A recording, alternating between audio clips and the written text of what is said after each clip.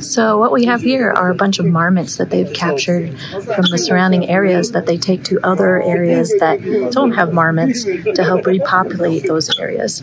And one of the reasons that the marmots are so important is that they make holes that the Pallas cats use as their den sites.